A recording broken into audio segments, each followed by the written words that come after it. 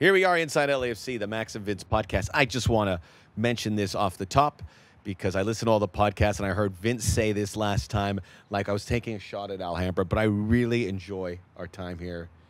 It is a wonderful part of Los Angeles. These rolling hills, beautiful, beautiful foliage. Come back here tomorrow. The heat's coming back though. Yeah, come back here tomorrow this time and tell me if you feel the same. I've really enjoyed it since we've had those you know, back end winter days, but it's we all know we have a, a big heat wave. We also have a big game coming this week, and we're going to talk about that. here. Oh, Max and Vince here, the MVP podcast. We have a very special guest, as we always do. A man with a very interesting story to tell right now, and that is LAFC, mostly midfielder, but has or has played fullback as well this season. Of course, I'm talking about Kellyn Acosta, who was part of the U.S. qualifying effort, and that is uh, it's big in any year, but certainly bigger when you look at what happened to the U.S. U.S. five years ago. and Kellyn was a part of that. He was a Like, part of that, and we'll talk to him about it. We talked a little bit before Kellyn came over here off air. You and I just saying like, man, what must it have been like for some of those guys that didn't get the chance to write the record? Like they, they've some of them have never been the same. Yeah. Uh, Kellyn, man, I can't imagine. And thank thank goodness it didn't happen this way. But I can't imagine if they would have missed again.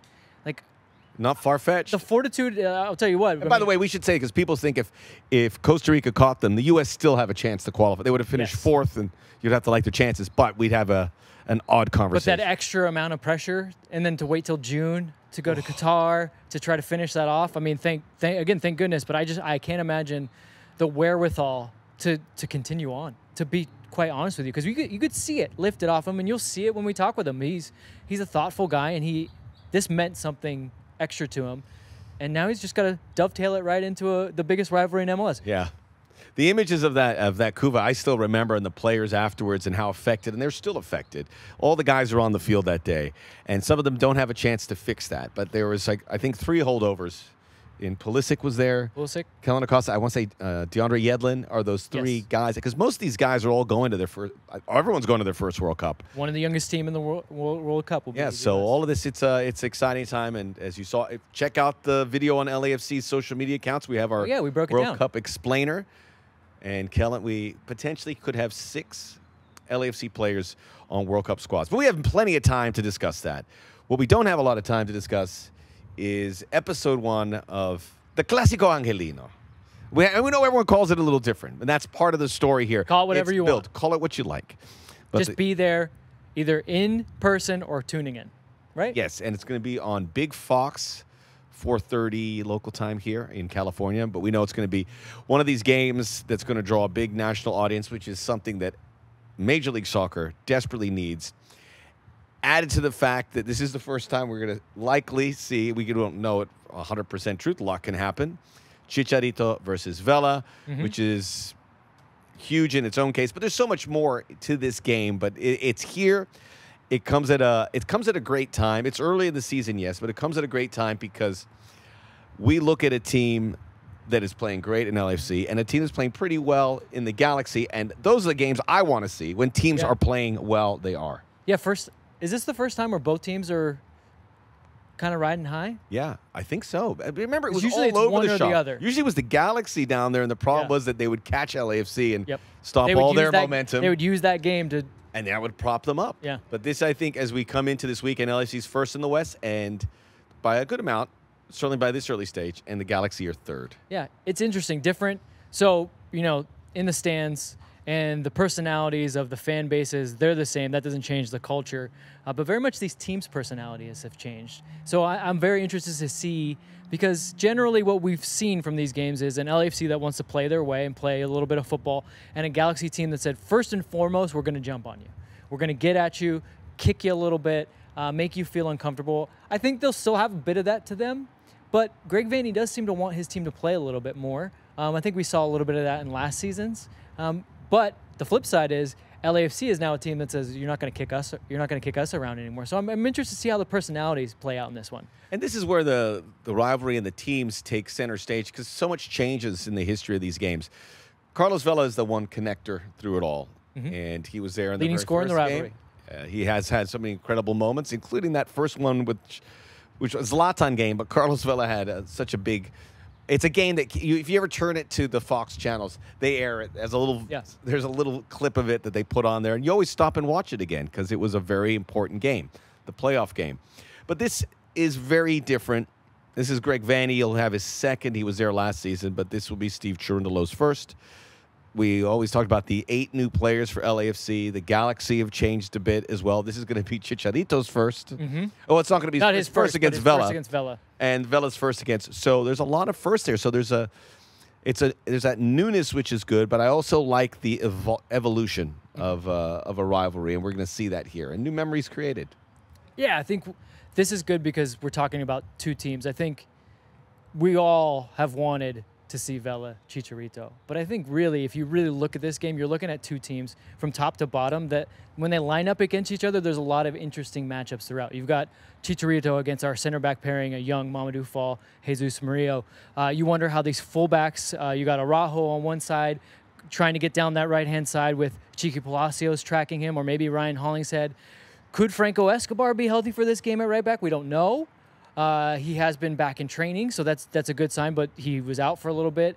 Then you know you don't really think of midfields with the Galaxy per se. And now they're gonna miss a big guy in their midfield. Mark Delgado picked up a second yellow card I immediately. like how you called him Mark. We- he wants to go by Mark now, so I will. That's what I'm I will Good. give him that Out of respect. I will give him that out of respect, but he's not going to play in this game. Uh, and immediately I got to my phone and said he's going to regret that one, and he did because it was such a stupid foul. Yeah. It was an easy yellow, and so I think the I game. want guys missing this game. You don't want guys missing this game, but it's interesting how they've actually crafted their midfield a little bit more um, to where they can actually play out of it and not just kick you. Um, but yeah, without Mark Delgado, it's going to be interesting who they who they pair with uh, Raveloson, and we know our three are probably going to be Acosta, Ilie Cifu, or or even Latif, who's had a couple of good games. So the, I think the midfield battle might be mu- that much more important in this game than it has in past games. There's uh, Ilie Sanchez, uh, Victor Vázquez, friends from the Barcelona days. They'll be they'll probably get, get, see each other a fair bit. If, Victor, if Victor Vaca- Vázquez plays, Yeah. Ilie Sanchez will be near him a lot of Yes. that match. And obviously, the big story is, is finding a way to quell Chicharito and the Galaxy coming off a win where he just was vintage little P. Being able to get these two goals that got LA Galaxy really a, a statement win in Portland. It showed their intentions ahead of this game. We always look up, talk about looking ahead. Galaxy didn't look ahead. LAFC certainly didn't look ahead in a game that, look, we'll be frank. When you look at the, the way LAFC's playing, you're like, yeah, they can go and beat Orlando. Mm-hmm. They have multiple players coming back from international duty. It's going to be a quick flight and another cross country trip. You know, if they lose this game, we get it. Yeah. Right? We get it. But then they go out there and win in uh, a, go- a goal, a game that felt very nostalgic because of the goal scoring as well, uh, and win by a clear two goals. It was very competitive. Orlando gave them their best shot, but uh, just a very satisfying win. Yeah, weird to say in year five, it felt like a bit of an old school LAFC game where it was like, we'll just outscore you. It's three to two. It's three to two, and look, guess what? Our center back is going to run the full length of the pitch, and he's going to finish this game off. You're right. It felt it felt a little bit nostalgic. I think someone tweeted it was the first four goal game since I mean early 2020, but that you know we would get four goal games, five goal games. Ah, didn't we beat? No, we beat SKC four goals. I'm sorry, you're right. one. That's right. in 2020. That was a big the big turnaround game. But what didn't feel nostalgic is this, the way the LAFC is getting these results, and they they they they let Orlando get the ball, Mm-hmm. and they defended and they waited, and I mean even the final goal, counterattacking never was LAFC's forte. And Oh, that's not true. We, we've been good in transition. It was good. It was we good in don't- We transition. don't look to only counter. Correct. But there were some moments there where they did, and it Mm-hmm. found a lot of success. They let Orlando make mistakes, and they pounced on them. So there, it's a very different LAFC, but I like the familiar tones as well. But just in closing on that, for LAFC to be able to put that result together and come in here with this momentum, it just adds to the pot. It really does. I will say the the one thing that you got to look out for from that match is the the ability that they had to sit back in the second half and let them have a little bit of the ball was because they erased the mistakes. The first half, you saw a couple goals because maybe some misassignments, maybe some miscommunication. You cannot do that against Chicharito. I mean, Pato showed he's going to find little gaps to get into. He's a different player than Chicharito. But if you miss your assignments in this game, I think it's going to come down to what kind of pressure you can get on the ball. Because if you got a guy like Vic, Victor Vázquez able to pick his head up, and then Chicharito, as he did in Portland, able to zig and zag and really turn your center backs inside out, then you're going to be looking at trouble. You're going to be looking at chances created. But if you can get pressure to the ball, you can keep Chicharito bracketed just a little bit, and then just don't miss your assignments because you know he's never going to stop moving. That's his game. That's his forte. The second he gets in that 18 yard box, he's going to poke and prod every little bit to create a bit of space. And sometimes he'll even just do it just to make you uncomfortable. Yeah, keep you on keep you on edge. And Rodolfo Landeros had that little video from the game that he posted, which uh, went viral, and you could see the movement moving what did Mariano post said? to post to Mariano post. said the uh, the defender had his belly button on his back or something like that, or on his hip, and I said that's that's a great saying. As I go in, check out uh, Mariano on uh, 110 Football's Expansion Mansion. It's out right now on the 110 Football YouTube channel for more of those great one-liners and catchphrases, which are good. Uh, you, you, you talk about, and I think about that footage, and I think of Chicharito, and I immediately say, okay, if it is Jesus Murillo and Mamadou Fall, and they've started every game with the exception of one time Doneil Henry came in for Jesus in the Inter Miami game, that these two guys have to be aligned. Maxime Crepeau, who's been great in making sure they know where they He's are. He's a guy that I'm very, that's the very one. glad he'll be playing. Yeah, that's a, that's where I get more comfortable with the Chicharito game. Mm-hmm. Knowing that these two center backs can do the job, but because Maxime Crepeau can be there as a constant reminder. Well, let's do an exercise between you and me. Okay. Most important player on each No team that's though. not named Chicharito and Vela. I would smoke you in a push-up contest. I have a lot more weight to carry, though. That's not fair. not my fault. One arm push ups were my thing, by the way, back in the day, but you know that was a long, long Okay, time Bruce ago. Lee. So, name, let, us pick one player from each team that we think are going to be influential in this game that's not named Carlos Vela Chicharito. let's start with LAFC. Okay, Uh, your your choice. You you, you go first. I will say, uh, uh, because of what he's done, I'll go with Brian Rodriguez, and you go with the goal that, could, that he was able to score if he's able to attack these good fullbacks. Mm. Uh, and I'm going to give you my Galaxy one, which will kind of counterpoint this as well. Is a guy that uh, he didn't really. We talked about it. He didn't really do that as effectively. He, he found other ways to affect the game, but I think this is somewhere where he might be able to get through there. Okay, I'm going to go for LAFC Ilie Sanchez. That- see, that's the crazy thing about that is it's It's not mind blowing. I know, no, it's not mind blowing, but it's I almost feel like a comfort that that job gets done regardless of opponent, regardless of which week in the calendar, whatever it is, who, regardless of the players in front of him. You just get that, and it goes without saying, which it shouldn't. Well, which look, it shouldn't. I love him and I miss him, El Profe. But think of try to think of the good games Eduard Atuesta had against the Galaxy. They had a plan to really slow him down. And when you slow Good down point. El Profe, then you slow down Carlos Vela, you slow down Brian Rodriguez, you slow down Dio. Uh, and I just think that Ilie has a slightly different skill set that if he's on his game and the way he plays, the Galaxy are going to find it very hard to get close to him. And then just the way he buoys the defense in, def- in defense So good. And his balance. So that's that's my pick. Now let's move on to the Galaxy. Who's Well, I, what I said about Brian Rodriguez, I'm going to say Julian Araujo because he he's done it against LAFC. I know He's every time I say, there. I, you know, I don't really He rate has. He had goes his- out and has a goal and two assists. has his guest best games. yes, against he LAFC. gets up for this game. And he's been up and down. He's you look, he's been part of the Mexican setup. No, but you can but count on him to be up guy. for this. He's game. going to be up for this. Yeah, God, Are you agreeing? I agree, and I just hate to agree because again, I like him as a player. I don't rate him quite as highly as some people do. But then every time I say that, it seems to be close to an El Trafico game, and uh, this happens. So The, I, the a bigger key is if the Galaxy can get somebody who can partner effectively with Chicharito. I think. Which Yeah. they don't. If somebody who can kind of distract, someone who can be a decoy, someone who can get the goal because they may be open because Chicharito's drawing so much attention. I think whoever fills that role, and it could be a, a variety of players, well, that's where I'm going to pay go. a huge impact. That's where I'm going to go with mine. He oh, I thought not you were play. agreeing with Araujo. I thought we were both in agreement. no, no, no. I'm going to Oh, say okay, sorry. Douglas Costa. Did not play against Portland, so he's gonna. Yeah, he, there, there, he may be a game time decision, uh, but to your point, I think that I hope. And listen, I hope he plays. Yeah. I want everyone. I want Mark Delgado in. I want everyone to be in this game. A So guy- it's huge. Yeah, a guy that with the ball at his feet can start to pull defensive apart. Where now maybe you're having to send a center back out to, to back up a fullback, and now Chicharito's one v one with a center back. That can be very dangerous. So I think if he can be in this game, and if it's not him, then it's going to have to be Grandsir or Kevin Cabral that somehow occupy a fullback plus a center back because if you can keep two center backs, and look, Chicharito is good enough to beat two center backs, but I'd like my odds if we can keep both our center backs kind of bracketing him throughout the match. It's a it's a fascinating matchup, and enjoy the week leading up to it. We know the supporters have uh, big plans, big numbers going down there. The buses are going to come down. Buses are going down. Buses are going down, and it's uh, everyone have a good time. Be safe out there and have a good time. And it was We can't we can't emphasize that enough. Yeah, With everything that's going on in the world and, and look, the coming together, I think for both you and I both said the coming together of the Galaxy Long overdue. players and both the organizations to say, hey guys, we've got the best rivalry. We don't need the other stuff. Yeah.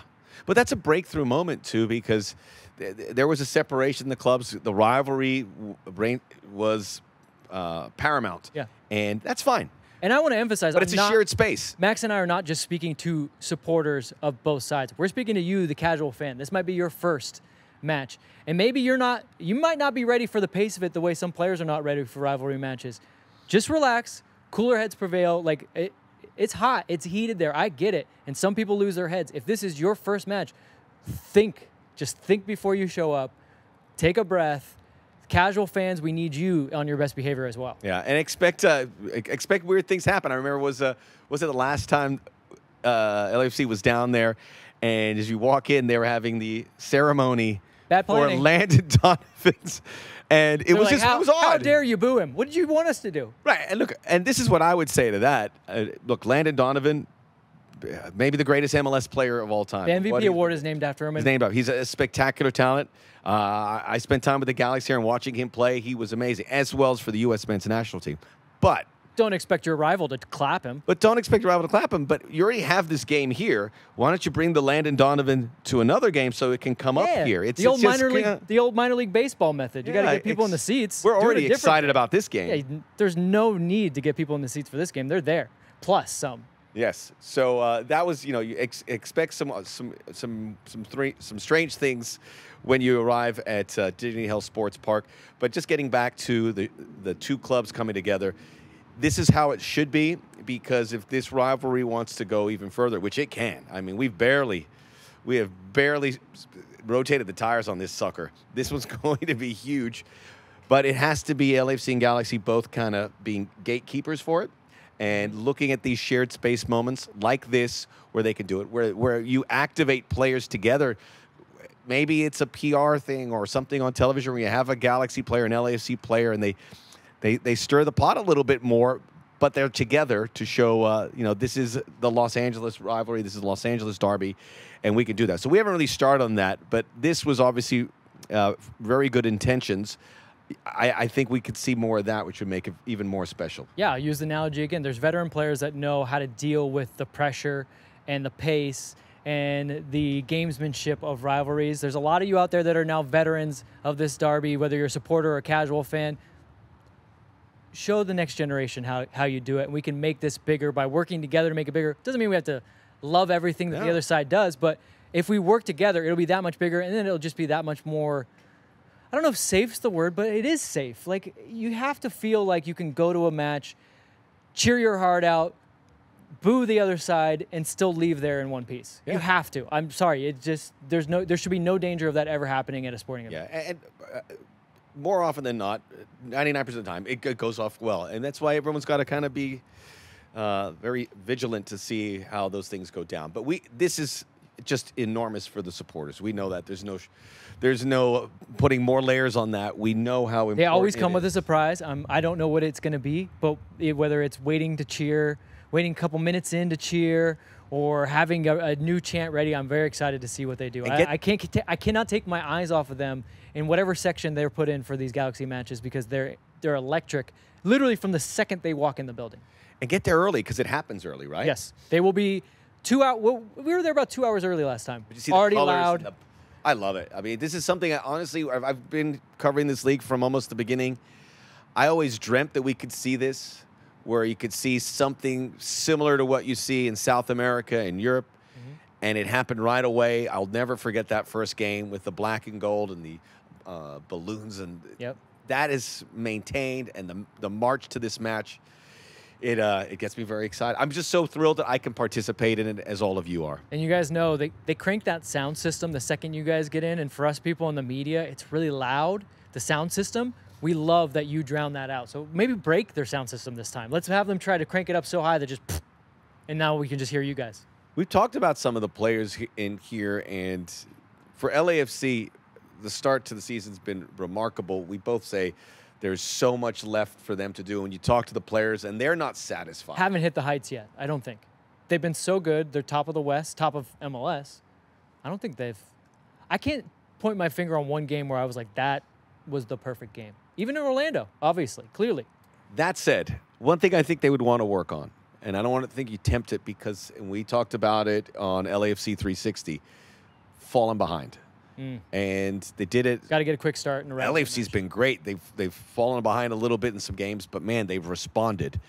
This would be a good spot, I think, to to play from Yeah, don't. front. I don't think you're gonna find that same result if you do that. I think you can definitely make a contest of it. Maybe you maybe you pull out a draw, but in a rivalry match, ah, it's gonna take Plus, so they wanna much kick that habit, right? They yes, and you want to kick that habit because well, and look, you want to kick the habit of not taking points at Dignity Health Sports Park. There's a, there's a couple of things you can tick off the list here, where if you get a good start and then you walk away with three points, man, you've set yourself up for the rest of the season. It, then look, even if you don't, it's game six. Yes.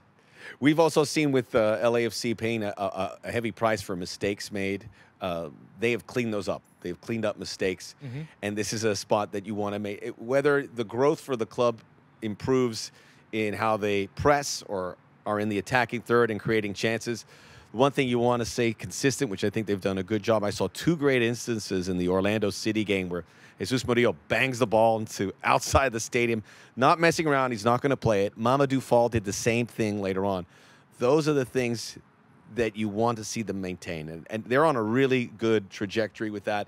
This is not the time to maybe say, okay, I'm going to try something against the the grain. Yeah, if for a couple minutes you have to play it safe, just to just the one, get your your team under control, get your breath under control. Maybe you're, you've been pushing and pressing, but also it, it lets the opposing team know, okay, if we just send the ball down there, they're just going to clear it out.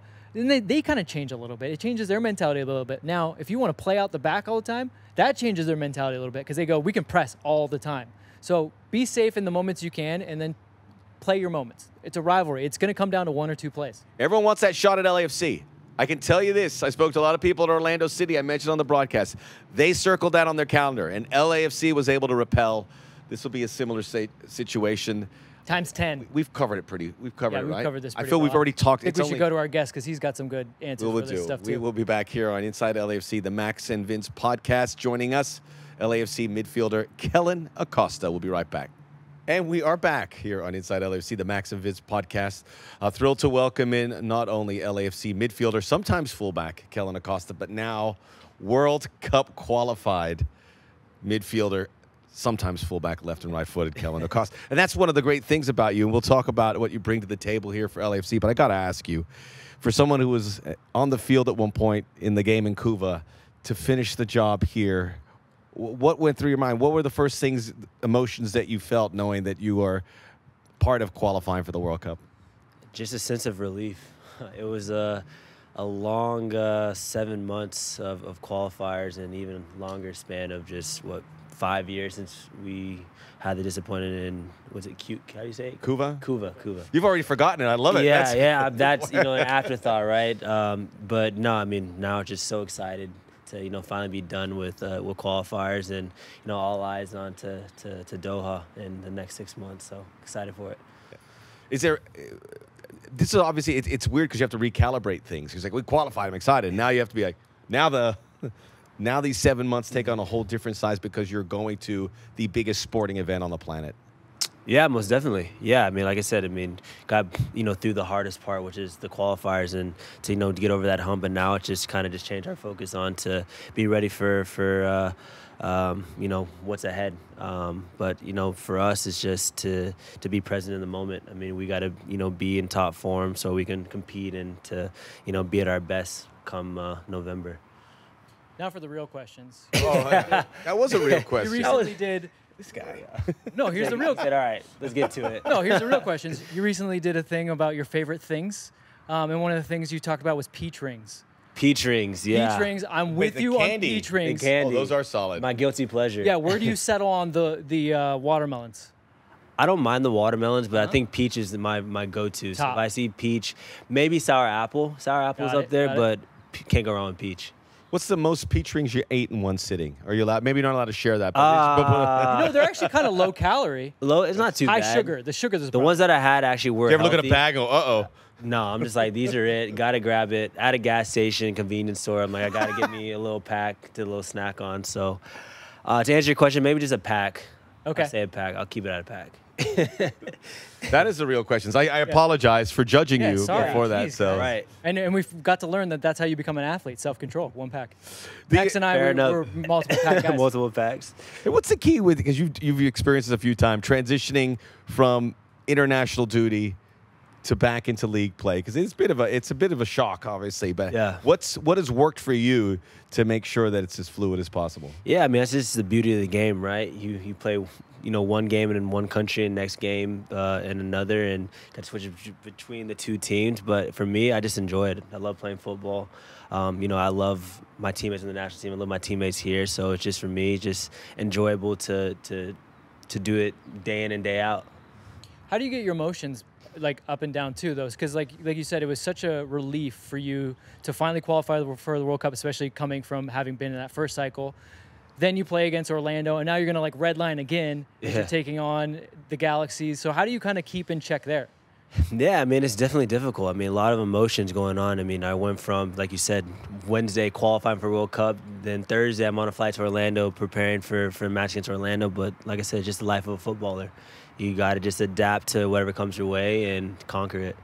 you mentioned that and we're, we're, we're switch because obviously it's a huge week here for everyone in Los Angeles Oh, we're gonna talk about that. Now. we will get to that but um, b- being that guy and, and, and just having these these younger players look up to you and what has that relationship been like for guys that we all know now that we've seen like Christian Pulisic and Weston McKennie and, and Tyler Adams and kind of being that not a paternal figure but someone who can kind of show them the way. I want to say I'm a. a Do you feel old when you're in there? I You're mean, not an in old a, player. in a way, in a way, they keep me young for sure. no, no, but they're definitely no great guys, guys with a lot of experience. I think as a group, we've grown a lot. Um, you know, in this past, you know, so years. Um, so, but I mean, those guys, I mean, they know what it what it takes to to to accomplish our goal. So, for me, I mean, it's just whatever I can to to help them in any which way. But I think those guys, especially, knows you know what it takes to to be at the highest level. I just want to just preface or uh, postscript this because uh, this U.S. team will be the maybe the youngest, in the Youngest, yeah. competition. so just keep that in mind when you're watching this U.S. team. There's a lot of growth. there. Yeah. Well, again, bring us back to, to the Galaxy match. You obviously took part in that match at Azteca, so you know what it's like to to feel it. To, Yeah, like, really yeah. feel it. So I'm wondering when you when you come out of the tunnel, you know you guys get the chance to come out of the tunnel, you, you get booed, you go warm up. Like what are- what are the first like what's your kind of checklist in in when you're in a hostile environment of kind of getting your mind right? Like what do you Yeah. want, like to feel? Do you like the booze?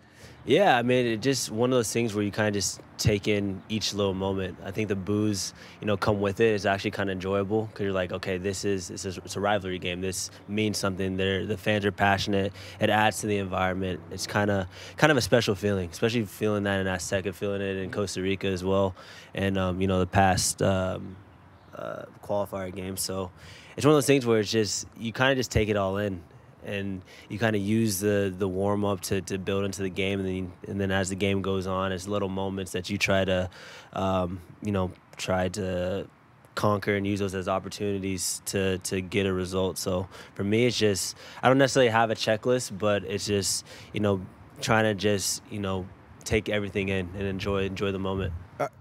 I, I didn't mean to ask this question, but I got to ask it now. when when the selections came up for USA Mexico, and they said who's going to we were play in the midfield, around. but everyone We're said keeping you on Kellyn. Acosta because he's played well against Mexico. He's had some good games at the Azteca. Why do you think that's uh, that's in your skill set for that opponent, and in, in this case at that Yeah. venue? I mean, I just enjoy the big games. I mean, Mexico's, you know, at the biggest stage. I mean, it's our biggest rival. So it's a game where we need everyone to step up. And so for me, I use that as an opportunity for me to, to, to make my mark. And and so far, it's been going well for me. So I'm, I'm hoping to, to continue in that path and hopefully get more opportunities in the future. So for someone that relishes that, then I, I guess you would agree with this statement. We need more games like that in MLS, where when Definitely. you show up, There's to a this segue right there.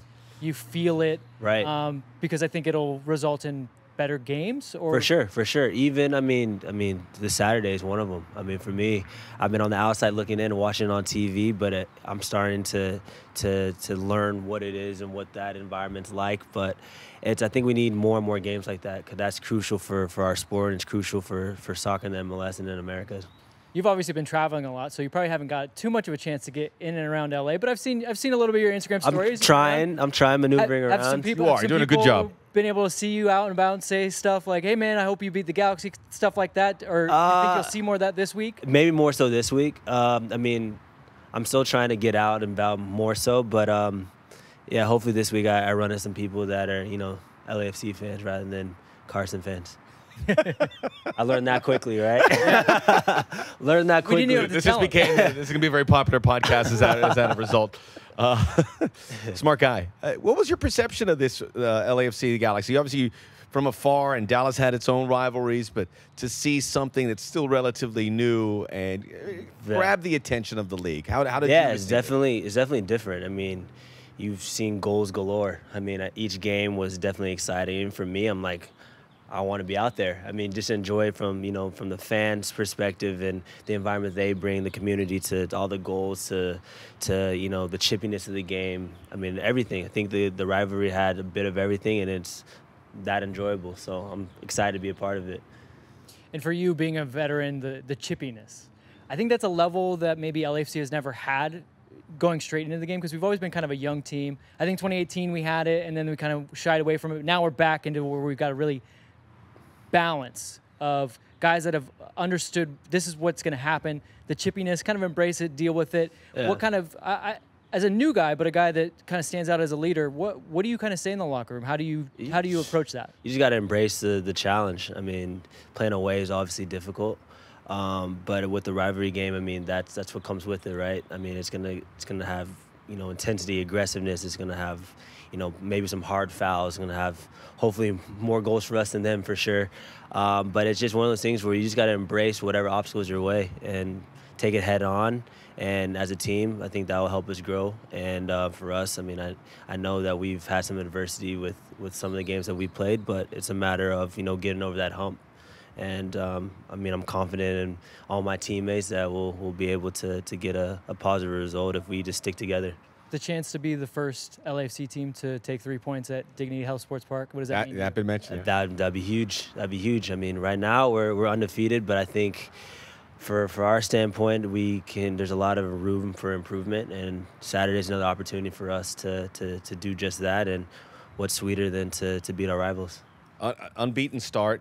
You look fantastic, and then this comes, and it's not. It's supposed to feel a little different this week because it's a rivalry game. But we know when we talk to Coach Cherundolo, it's about hey, let's let's. That's the first time I've ever That- so- heard someone say Coach Cherundolo. I like Coach it. Cherundolo. It's got a good sing song to it. I call him Steve. Not bad. I call him Steve. Yeah. Coach sometimes. Dolo. Some people that's not, that's gonna have to catch. Well, on. that's got to catch on. But but just the idea of like hey, let's keep doing what we do. But is it Yeah. how what are the challenges to kind of keep that in check when you hear all the hullabaloo around you? No, you kind of have to just silence that. I mean, let everyone speak for themselves. But for us on the field, this is what matters out here with our teammates growing, um, creating more and more relationships, fine tuning our, our back line. We, we led in some goals last week and the previous week. So I think uh, for us, it's just focusing on ourselves, focusing at the task at hand. Because I think for us, we can definitely grow. I mean, the Galaxy brings definitely some challenges we, we have to worry about. But for us, I mean, we need to fine tune some things. Um, and that will help us put us in a great spot for us uh, as we move forward. How close do you guys think you are? Because we talk about it. We feels like the ceiling's still high for this team. For but sure. uh, great start, unbeaten, scoring goals. The two goals last week were a bit of an, an aberration because Right. defensively you're so solid. Right. So reaching that where you feel content, where it's like, okay, this is where we need to I be. mean, I don't think content could even be in our vocabulary. I think it for us, like you said, our ceiling's high and we have a lot of improvement for sure. Um, and we got to just take it game by game. I think it's important for us each training session is to, to get better. Um, but I think we're in a dangerous time where, where we think we're good, right? We're undefeated, top of the table, but I think that's that's very dangerous to, to really think about. So we can't be content with where we're at because we can definitely be better. And I know for our standpoint as a group that we know that we can be better. So we just gotta, you know, execute really. Can't wait. Can't wait. Can't wait. Can't wait. in a perfect world, if you watch a World Cup draw, just one word answer. What was the one country? We got England. Everyone's excited. If there's one country that come up, what would excite you more than any other? What would that be? Who would that be? Excite me more than any other. To see the ball come out and say, "This is in USA's group." Uh, huh. Was it really England? Thought about it. no, I mean, I, I was just more excited. I'm like, it, it was just different for me because when I used to watch the draws in the past, it, it, it's a little bit different because I'm like, I'm not competing in it. So this one hit a little bit different because I'm like thinking this is opportunity for me to actually play these teams at this stage cool. around the world. So I'm like, whoever gets drawn, I mean, I'm excited for whomever. Um, but I mean, the first country that just came to mind when you asked that was just playing the the host country. And Interesting. I think that would be interesting to see the um, the crowd, the atmosphere. I think that would be kind of kind of special. A little bit different answer.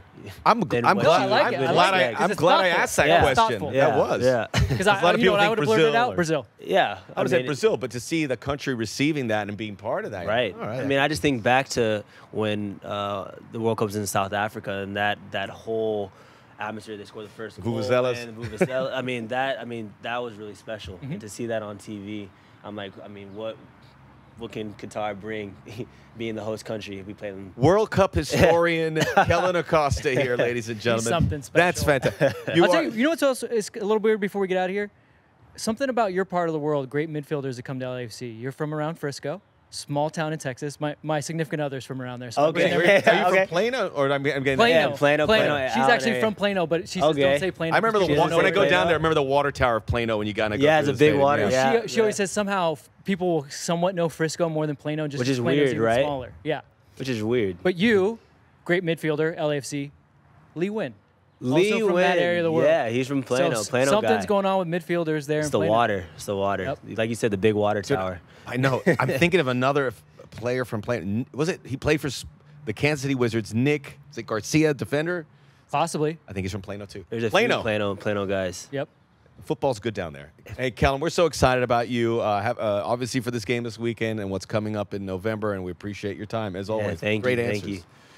Thank you for joining us. We will be, as we do every Tuesday here at the Performance Center in glorious Alhambra. That's from the heart. Make sure you download, subscribe, rate, and review, and we'll see you again with the postscript from the game in Carson, as Kellyn put it. Yes! They knocked on the door,